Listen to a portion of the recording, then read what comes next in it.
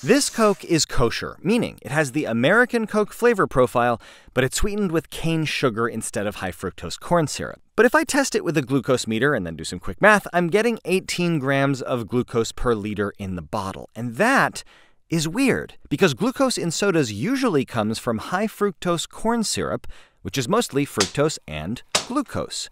Cane sugar, on the other hand, is mostly sucrose, which is also glucose and fructose, but they're chemically bound together. This means it's a whole other molecule, it is not just a mixture. In fact, a solution of pure sucrose registers zero on the glucose meter.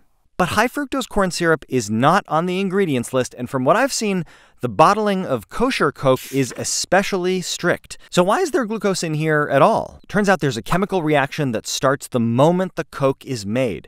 Phosphoric acid can break this bond, producing fructose and glucose, and the glucose is what I'm seeing on my meter. Now, of course, I tracked the breakdown over time to estimate when the Coke was bottled.